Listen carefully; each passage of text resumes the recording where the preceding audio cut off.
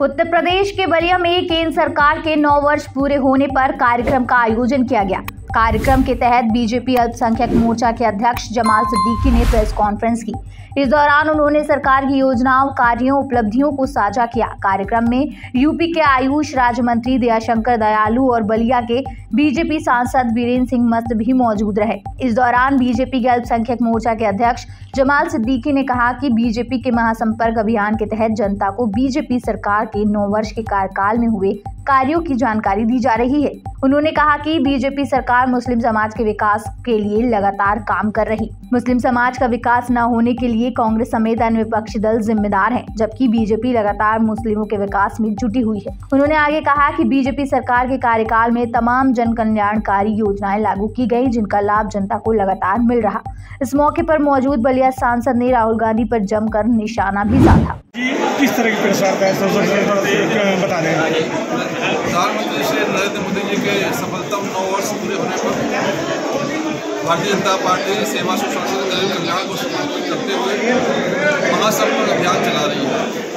संपर्क अभियान के माध्यम से माननीय प्रधानमंत्री जी ने जो गरीब कल्याण के काम किए चाहे वो कोरोना काल में मदद की बात हो, वैक्सीन की बात हो चाहे गरीब अन्य योजना में जो है अस्सी करोड़ परिवारों को आनंद देने की बात हो, चाहे मुद्रा योजना में जो नौजवान को रोज़गार के लिए मुद्रा लोन देने की बात हो, जनधन योजना में खाद्य बनवाने की बात हो, उज्ज्वला योजना में गैस सिलेंडर की बात हो, नल योजना में नल से जल की बात हो, उज्ज्वला योजना में कनेक्शन देने की बात बिजली की इन सारी योजनाओं को लेकर हम लोगों के बीच में जा रहे हैं। प्रधानमंत्री जी के किए हुए कार्यों को बता रहे हैं और उनसे संवाद कर रहे हैं कि आखिर और हम क्या काम कर सकते हैं।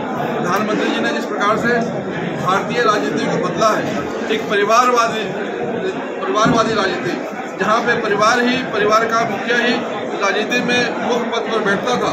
और जो सारी पार्टियाँ हैं, चाहे कांग्रेस है, वो भी एक परिवारवादी पार्टी थी, चाहे सपा है, चाहे बसपा है, जिस प्रकार से इसका कमर तोड़कर एक आम आदमी, एक गरीब का बेटा, एक मजदूर का बेटा भी राजनीति में अपने काम के दम पर आकर अपनी सेवाएँ दे सकता है भारत माता की सेवा कर सकता है, अपने परिवारों को, जो गरीब परिवार है, उनको मदद कर सकता है। इसका जो रास्ता खोला है प्रधानमंत्री जी ने, इसके विषय में हम चर्चा कर रहे हैं और मुख्य रूप से जो प्रधानमंत्री जी के कार्यकाल में ज़ीरो टॉलरेंस चाहे वो माननीय प्रधानमंत्री मोदी की सरकार हो, चाहे माननीय योगी जी की सरकार हो, जहाँ पर ज़ीरो टॉलरेंस है, जहाँ पर किसी को बख्शा नहीं जा रहा है, जहाँ पर कोई भ्रष्टाचार नहीं है, कोई शोषण नहीं है, कोई गुंडागर्दी नहीं है, इस प्रकार से माननीय प्रधानमंत्री जी ने स्वस्थ सरकार दी है, स्वच्छ सरकार दी है, इसके विषय में हम चर्चा करते जी, अगर थोड़ा इससे हट के अगर बात की जाए, राहुल गांधी की उन्होंने अमेरिका में एक इंटरव्यू में कहा है कि मुस्लिम लीग जो है वो सेकुलर पार्टी है। क्या कहेंगे? मुझे लगता है कि राहुल गांधी को मुस्लिम लीग में शामिल हो जाना चाहिए और उनकी बात को उनके विचार को देश जान गया है। इसलिए उनको विदेश में जाकर अपने विचार उनको ज्ञान विदेश में जाने के बाद ही मिलता है।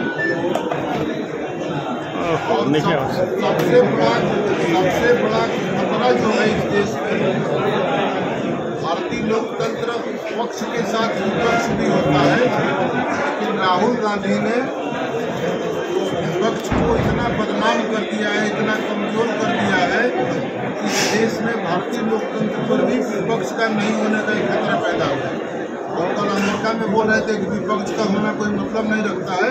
तो भारतीय लोकतंत्र को जिसको समझ होगी वो विपक्ष का नहीं होने का मतलब तलाशेगा तो कौन उनको प्रधानमंत्री बनाएगा?